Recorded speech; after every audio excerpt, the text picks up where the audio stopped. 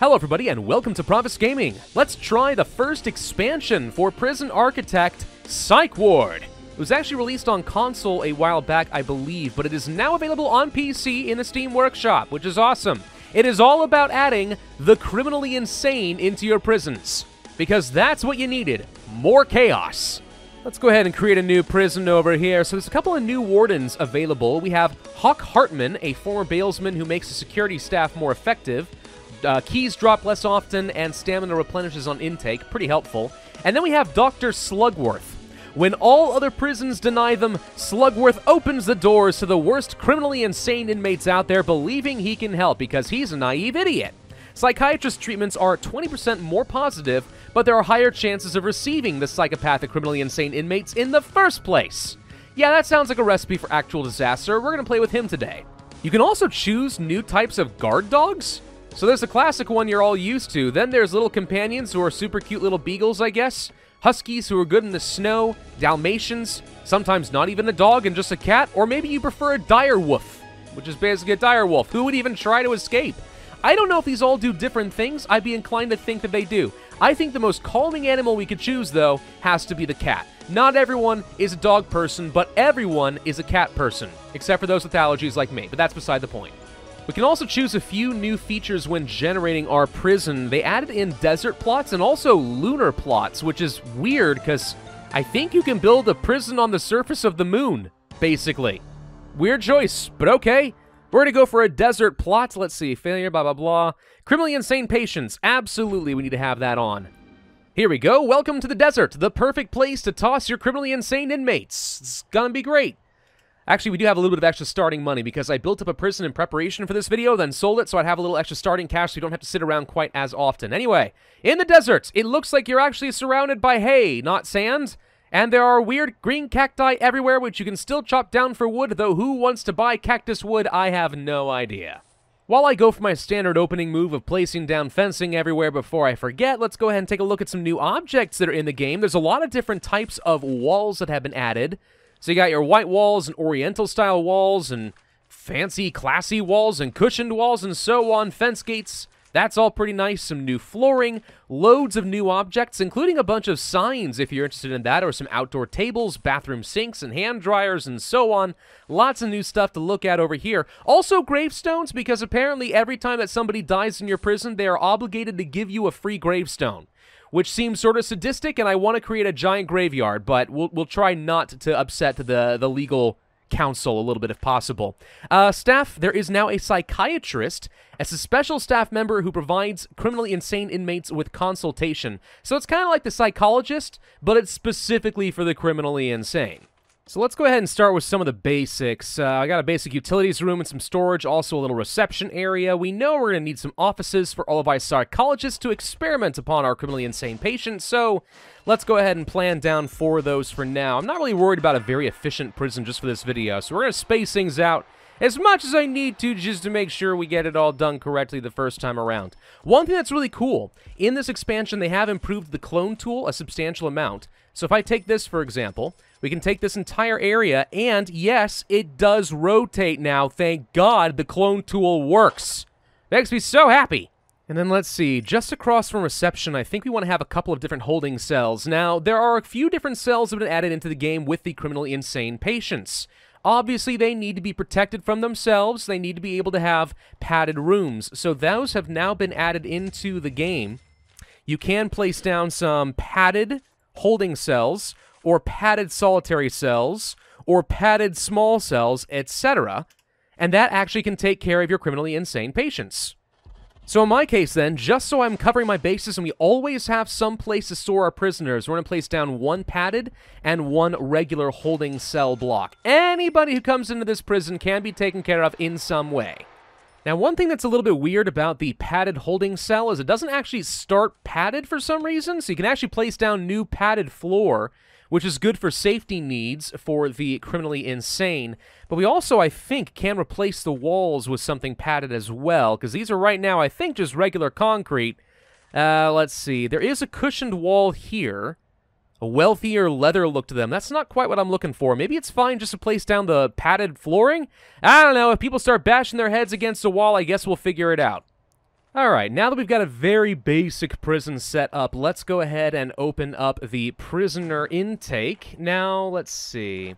We could deliberately bring in only the criminally insane, and you can see that they bring in a huge payment. So taking care of the criminally insane is a little bit a little bit difficult. Then there's the prisoner transfer, which is currently unavailable to me, but I guess this is for the absolute most hardened, dangerous criminals of all time. Not going to worry about that right now, though. Let's go ahead and fill up capacity with medium security prisoners, just so we have a basic cash flow. Because at the moment, you know, I've kind of blown through a whole load of money making a nice looking prison. But then we're going to focus on bringing in the criminally insane, because I want to play with them. They seem like the most fun. Uh, that's kind of weird. I just saw deaths one today and then it went down to zero. Did we resuscitate? No, no, the person's definitely dead. I don't really... Okay, well... Huh.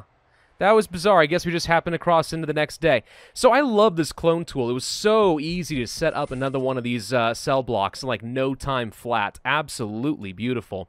And we seem to have a pretty well-functioning prison. A lot of the needs been met. We're looking solid so far. Really not too bad. I'm just working on getting a... Uh, a shop and a library up, and then all of our luxuries and literature needs should be met. So now, let's start focusing on building up a proper psych ward, because that's the whole point this expansion. Wow, some people are clearly very skilled at smuggling, by the way. Two guys over here, I think this guy and this guy right here, each had like 15 cell phones each. I guess I know who's working in the shop. Anyway, all right, so let's go ahead and go to the quick build tool. Uh, so we want to set up some padded small or padded medium cells? It kind of depends, I guess. I guess I kind of want the criminally insane to be the most comfortable of everybody. Because really, who wants to take the risk with the crazies, right? Which may seem slightly insensitive, but it's all thematically appropriate, I, I promise. Let's go ahead and set up a whole bunch of these cells. I need to be able to ha handle at least 10 for a grant, but I'm going to set up for, let's say, let's say 12 for now. We'll do something kind of like this. Um, and then I'll leave some extra space, so if I want to set up some sort of a special common room, we can. Somebody needs a cell. What do you need? Oh, good, we have our first crazy person here already. Okay, he's criminally insane, he has sickness, and he's extremely stoical. So one of the cool things they added in, in addition to the fact that some people are, you know, criminally insane, you can also find different traits for the characters, so they have different reputations. In this case, Sickness, prone to throwing up and soiling themselves, extremely stoical, will not become suppressed when locked in solitary or in the presence of guards. They don't really care. There's a whole bunch of different behavioral traits available now for all of your prisoners, and some of them can be a little difficult to deal with, believe it or not. Uh, we need to hire some orderlies, by the way. That's a special type of guard that has been uh, added into the game. Specially trained in the handling of the criminally insane. My understanding Let's see, it actually says right here. There it is. Normal guards are prohibited from attacking criminally insane inmates as they may hurt them in the process. So only orderlies are allowed to actually physically restrain the criminally insane without harming them. So you want to make sure you have at least one of these guys sitting around ready to go. All right, so we'll have a bunch of nice, comfy cells ready. Uh, I'm going to go ahead and use uh, I guess we'll just use some classy green walls for now. Let's make sure we get the foundations properly set up so I can finish the rest of this building. There we go. Get all of that set. Okay. I'm pretty sure, by the way, that they did fix the foundation tool. You guys remember how you used to be able to lay, like, little lines of foundation like that, and it would set walls up all over the place, then you place down some more foundation, and it breaks down all the walls? Well, as you can see here, I did just lay down a whole bunch of foundations, and it actually has kind of a little highlighted gray area saying where the walls are going to be. So, hallelujah, I think it might not actually break everything this time, which is awesome. You know something? I think I'm going to set up a couple of special psychiatrist offices right over here in the criminally insane ward as well. So psychiatrists, again, should be able to provide specialized counseling to the criminally insane. We need to have at least two of them, apparently, for... Um, for this grant to be complete. So I'm going to assume that that's a good number for 10 plus criminally insane patients. So we'll start with that. Okay, we have a psych ward. Nice and sterile looking. So I think it's time we go to the intake and say, hey, I'd like to bring in my criminally insane patients. All nine of them. I'm going to get $24,000 for bringing these guys in. Good lord. That is quite a bit. I think one of my guards died. Oops, okay, that's fine, though. Yeah, all right, so only nine, though. Don't I have several more cells than this? Maybe some of them got locked in solitary or something. I'm not sure. I feel like we should be able to hold a little bit more than that, but okay. That's fine. Maybe I can only handle nine. Maybe there's a maximum to how many they're willing to give you at a time. I don't know. That actually might be the case. Oh, yeah, sorry. There just aren't that many prisoners actually available. There is a single super criminal available who I will be bringing in because we can, I guess.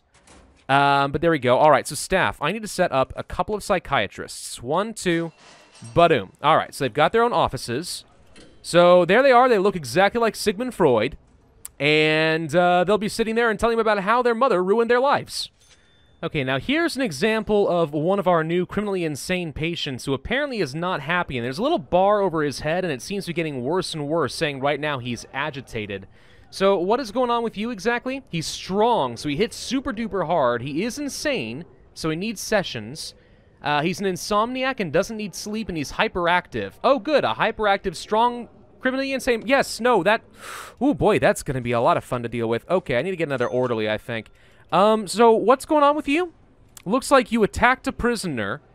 Serious injury, murder. You you murdered some... Oh, well, okay, he's already murdered some... Fine. Uh, we probably should get some padded solitary cells, because I think that's the issue, is we can't actually do anything with him right now. So let's go ahead and set up at least a couple of those. Um, I'm not sure if putting the criminally insane person in very tight, cramped spaces is a good idea or not, but, I mean, is worth a shot.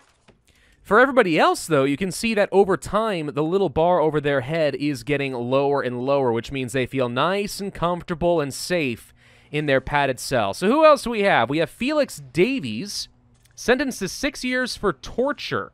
Oh, okay, good. Yes. May ignite, may attack our staff, cause damage to the prison, attempt to break free. Yeah, he pled guilty to torture, by the way. Character. Oh, this guy is strong. He's stoical. He's insane. He's an insomniac. He's depressed, claustrophobic, and psychopathic. Great combination. What about this guy here? Alex Methwani. Pickpocketing. Criminally insane pickpocket. Okay, he's strong, quick, and hyperactive. Uh-huh, what about you? We've got he's sick, outbreaks, prone to violent outbreaks and damaging the environment around him. He's also fearless and is not intimidated by armed guards. Oh, yikes. What about you? Let's see. Aggravated uh, vehicle theft. Okay. He's extremely stoical, just does not care about anything, including property rights, apparently. Yeah, um, yikes. Okay, these are some very scary peoples.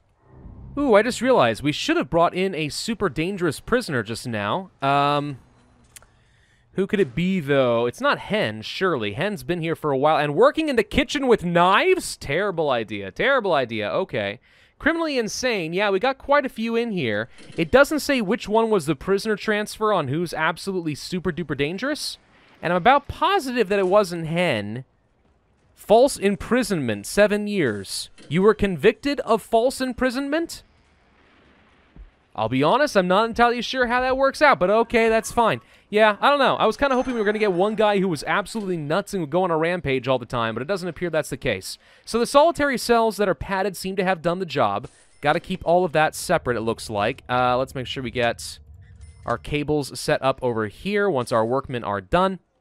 I also set up a bunch of metal detectors because we were having serious issues with uh, people stabbing everyone lately. I, I don't know how, where that could possibly have arisen, but there you go.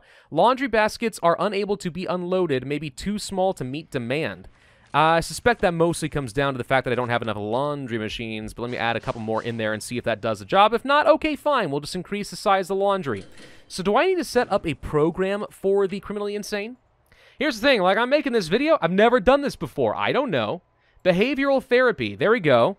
Struggle to control their violent nature. No, this is psychologist. Still worth doing. Pharma uh, pharmacological treatment of drug addiction seems important. Parole hearings, probably good. Psychiatric consultation. All criminally insane inmates require regular one-on-one -on -one calming sessions with our psychiatrist to help reduce their growing feeling of suppression. What, you feel suppressed? Are you kidding me? I don't know where you're getting that idea. Lack of psychiatrist help can trigger violent outbreaks and other unique reactions from these prisoners. Yikes. Okay. Uh, cool. Well, let's go ahead and get some of those set up then. Um, yeah, absolutely. Okay. No equipment for behavioral therapy. What, do I not have enough of a psychologist session? Wait. What's the problem here? I have a psychologist, I'm pretty sure. Oh, there we go. Each prisoner requires a wide sofa. Oh, wow. Easily fixed. One second. Okay, so how are we doing over here? Uh, let's see. We have an agitated prisoner who is sleeping. Extremely stoical and sickness. This guy is also agitated, but he is relaxing. It does appear to be going down, though. So again, as long as you keep them semi-isolated away from the rest of the groups, maybe they're okay. Three escapees! No! Uh-oh, and the power went out. No! The criminally insane inmates are going to be super duper agitated by that, I can imagine. They'll be freaking upset. Ah! Crap! Get the power on! Get the power on! Dear God! There we go. Lights back on. Okay, it was just a blip. Fortunately, most of them were sleeping at the time, so I'm sure it wasn't all that bad. You know, it's funny. I just realized I'm assigning dog handlers to things, but, um, they're cats. So how does that work? This guy is now just punching randomly at the wall, at the air. No, not the wall. Sorry. He's just getting his frustration out, just punching randomly. It's like, whoo, ha, yeah, if someone came after me, I'd get him. Weird. I'm also a little concerned about an unstable, currently very agitated prisoner who is walking around here amongst everyone else. We might just see this guy snap and kill somebody. Eh, no, he's holding it. He's holding his anger together. I'm waiting for him to go Incredible Hulk on people. I mean, looking at all these guys flooding out, I'd be agitated personally. Yeah, maybe we need to keep these guys uh, slightly separate. Yeah, yeah. I think we give them. Um, I think we give them some separate yard time. Don't you think? I think we give them separate yard time. So what exactly do these cats do for me? I mean, do they sniff things out? Do they meow when they smell contraband? Because I kind of feel like they probably wouldn't. What's the point of having the cat? I thought maybe it would be like a therapy, like uh, emotional support animal or something that people would want to pet, but now I'm kind of thinking that maybe the cats are useless. I've decided I'm going to go ahead and place a morgue and then some gravestones right outside, all right? When people die, this is where we take them, and this is the gravestone. We're going to call this the Walk of Shame. Guards, this means you all failed in your job and some poor, innocent or not soul died under your watch and have them come by here every day. I'm going to try to increase our cell block size a little bit, but here we go. I've got this special cloning tool, which makes it so easy to place things down. Look at this. It's amazing. Um, we'll place them a little bit over here, though. I'm a little concerned we're getting too close to the to the walls, and they'll easily dig their way out, but I'm sure it'll be fine. I don't know why Finley over here is just running around in circles. I have noticed every once in a while there's some very bizarre, unexplained behavior from the prisoners. Sometimes they just go running around. I've even seen some just take off their clothes and wave their hands around screaming like madmen. I wish I could have gotten that on camera. I didn't really pay attention until it was too late. But yeah, so he's just running around, showing that he is, in fact, yes, still criminally insane and not liable for the horrible murders that he committed. Probably. I don't know. Did decide to add in an extra wing of the criminally insane ward just because it seems to be going so darn well. And honestly, as long as you take good care of the prisoners, they don't seem outrageously difficult to take care of and uh, make a lot of extra money. So, I don't know. It doesn't seem that difficult. But maybe if you get enough of them together, of the wrong types, you're going to have a whole load of violence. What I think would make for a very fun challenge with this Psych Ward expansion would be to try to recreate something like Arkham Asylum, you know? A full prison dedicated to nothing but the criminally insane. That would be actually pretty darn fun, and if I were for example, to sell my prison, which is already worth $500,000 and start over, that's probably what I would do. Make sure I have enough money, go ahead and set up all the research I need through bureaucracy, get the orderlies and all that, and then boom, one gigantic asylum. Oh, that would actually be kind of fun. If you guys think I should do that as a series, do let me know. Otherwise, I think this expansion looks pretty straightforward. It's uh, $6 on Steam, so not outrageously expensive for a bit of extra content. It does have a lot of new objects, some quality of life improvements. The pathing and the intelligence seems to be better. The clone tool working is amazing. New walls, new floors, new doors, signs, whatever the heck else you want. It's got some pretty cool stuff to it, but mostly it comes down to the criminally insane, and the new behavior system is actually pretty darn cool. I like it. Thank you all very much for watching. I do hope that you enjoyed, and if so, then I would ask you hit that like button, leave a comment, and subscribe, and I will see you guys next time.